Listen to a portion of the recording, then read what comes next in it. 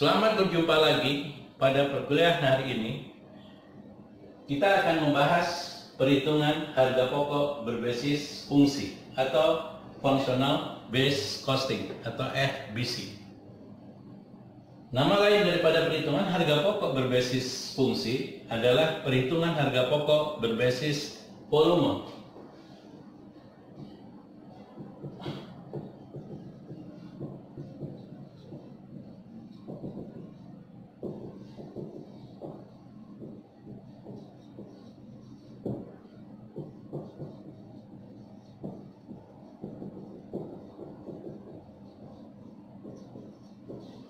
atau volume based costing VBC.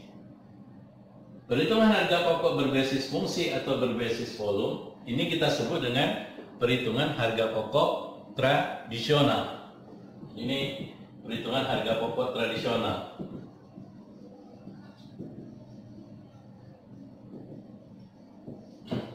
Atau tradisional costing. Dalam Perkuliahan sebelumnya kita sudah menjelaskan bagaimana membebankan biaya produksi ke produk. Baik itu bahan baku, tenaga kerja maupun overhead. Pembebanan biaya produksi ke produk pada perkuliahan sebelumnya kita menggunakan normal costing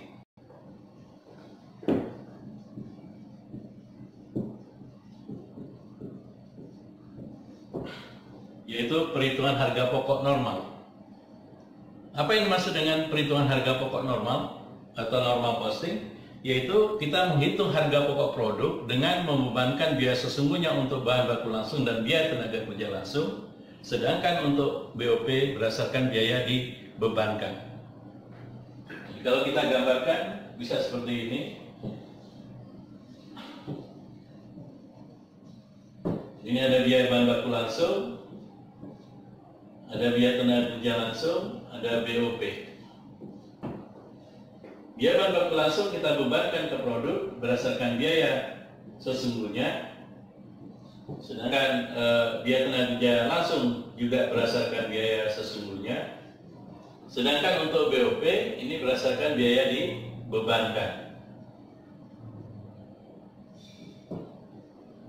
Bagaimana mencari BOP dibebankan sudah kita jelaskan sebelumnya, yaitu kapasitas sesungguhnya dikali dengan tarif BOP yang ditentukan di depan.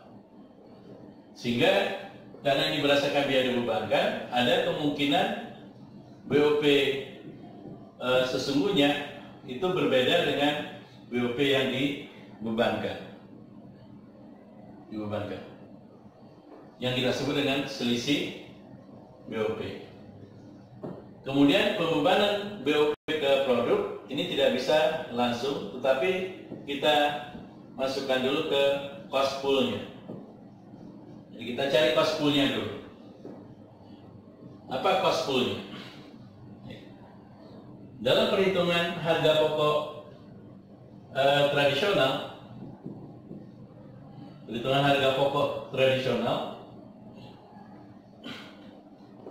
Pool yang kita pakai atau pool biaya yang kita pakai bisa uh, pabrik,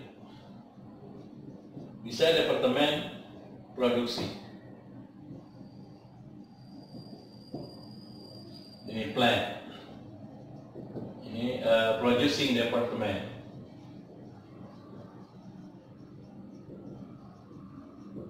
Producing department.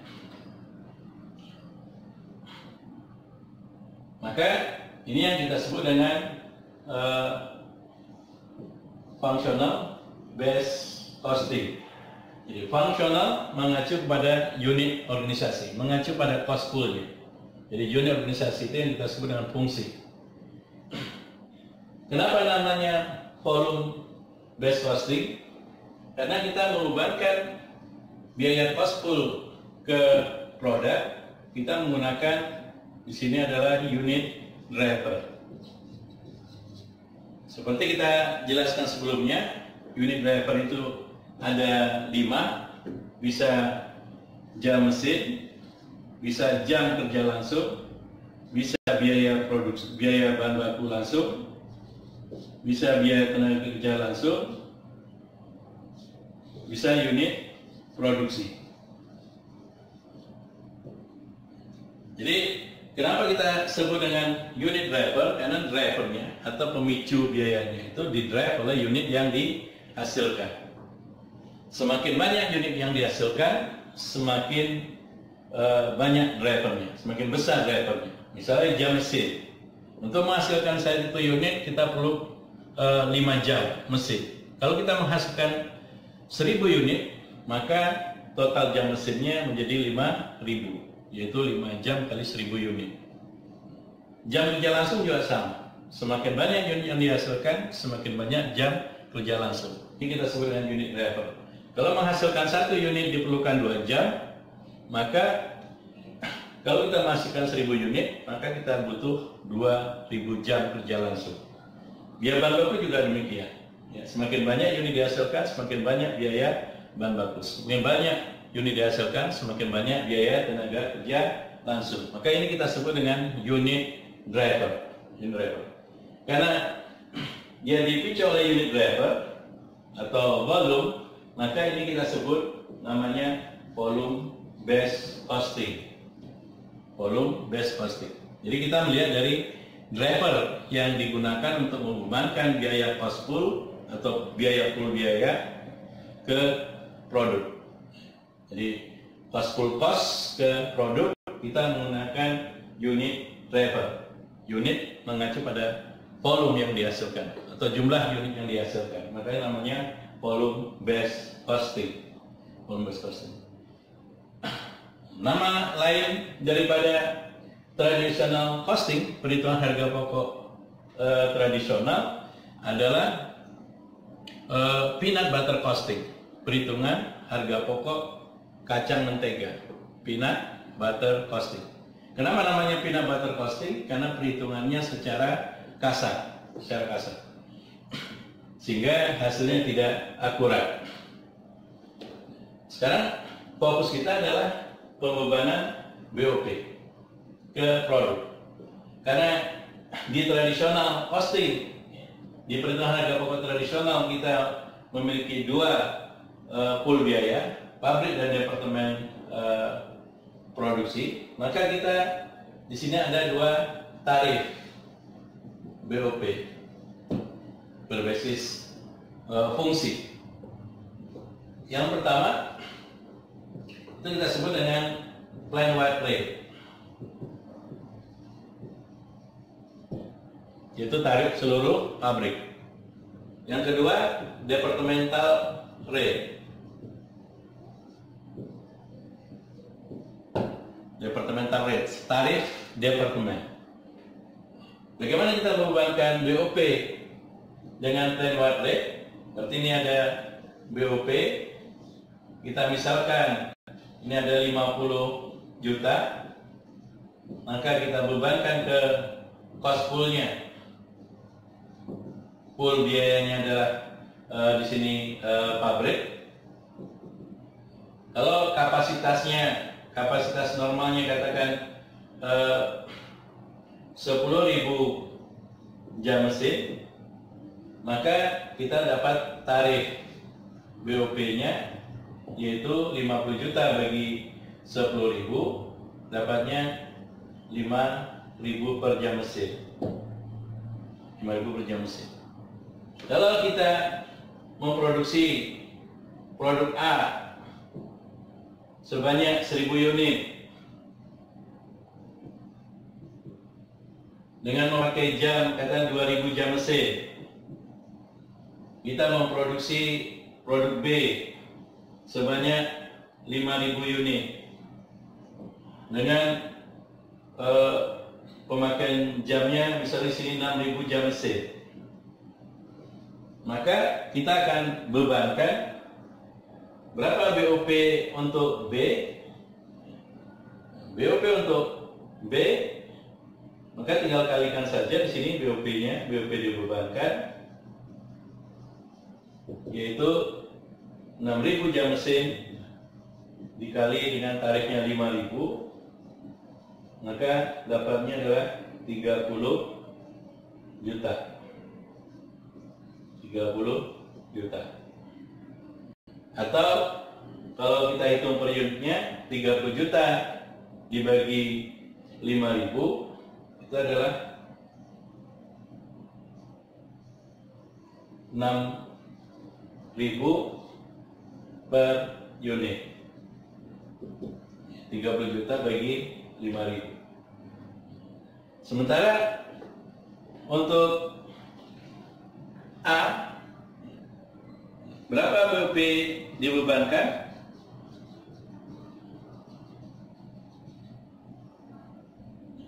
Yaitu karena diproses 2000 jam mesin dikali tarifnya 5000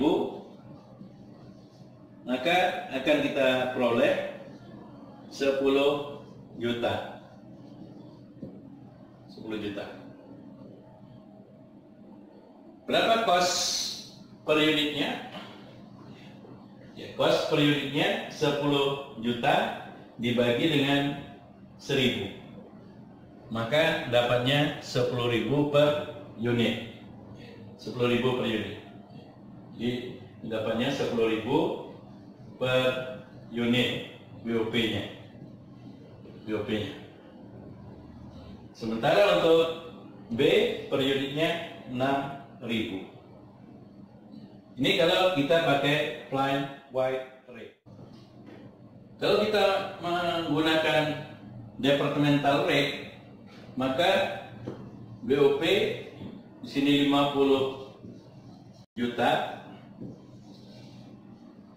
Kita uh, alokasikan ke di sini cost pool yang kita pakai adalah misalnya ada departemen satu dan Departemen 2 maka kita akan alokasikan yang 50 juta ke Departemen 1 dan Departemen 2 misalkan ke Departemen 1 30 juta. Departemen 2 sisanya 20 juta. Kemudian eh, Katakan misalnya ini banyak mesin. Sementara sehingga sini CD yang kita pakai harusnya jam mesin. Sementara departemen 2 misalnya banyak tenaga kerja. Misalnya departemen 2 ini assembly, perakitan. Tidak ada mesin, semuanya dirakit sama orang. Sementara di departemen sepatu misalnya pemotongan pakai mesin. Maka karena sini banyak eh, tenaga kerja CD yang seharusnya dipakai bukan jam mesin tapi jam kerja langsung. Kemudian kita hitung sini kapasitas normalnya untuk jam mesin berapa? Misalnya ini 10 ribu uh, jam mesin. Departemen 2 kapasitas normalnya kata misalnya 5000 jam kerja langsung. Maka kita akan dapat tarif BOP untuk Departemen 1. Bagaimana mencari tarif BOP masing-masing departemen? Yaitu anggaran BOP di masing-masing departemen dibagi dengan kapasitas normalnya. Jadi di sini 30 juta departemen 1 dibagi 10 ribu, maka dapatnya adalah 3 ribu per jam mesin. Departemen 2 anggaran 20 juta dibagi dengan kapasitas normalnya 5 ribu, maka tarif BOP-nya itu adalah 4.000 per jam mesin. Kalau kita misalkan memproduksi produk A sebanyak 1000 unit. 1000 unit. Berapa lama diproses di departemen 1 katanya misalnya 1500 jam mesin. Berapa lama diproses di Departemen 2? Katakan uh, misalnya di sini 1000 jam kerja langsung. Nah, berdasarkan actual capacity, kapasitas sesungguhnya ini, maka kita bisa hitung berapa BOP dibebankan. Yaitu kapasitas sesungguhnya dikali tarif BOP. Jadi untuk departemen 1 kapasitas sesungguhnya adalah 1500 jam mesin dikali tarifnya 3000 maka dapatnya 4 juta. 500 departemen 2 kapasitas sesungguhnya 1000 jam kerja langsung. Dikali tarifnya eh, 4000 per jam kerja langsung.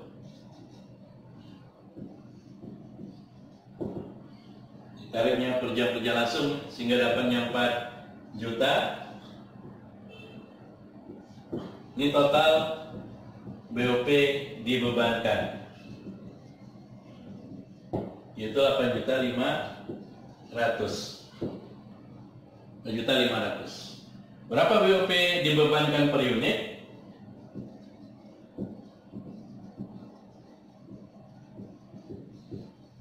Kita hanya tinggal membagi total BOP dibebankan dengan unit yang dihasilkan 1000 unit. Sehingga dapatnya adalah 8500 jadi kalau kita menggunakan plan wide rate BOP dibebankan per unitnya 10 ribu, 10 ribu. Sementara kalau kita pakai departmental rate, BOP yang dibebankan untuk produk A, sama-sama produk A, di sini hanya 8.500. Mana yang lebih akurat? Apakah departmental rate? Apakah plan wide rate? Tentu saja departmental rate Kenapa departmental rate lebih akurat? Karena di departmental rate cost level yang kita pakai itu disesuaikan dengan karakteristik daripada departemen yang bersangkutan.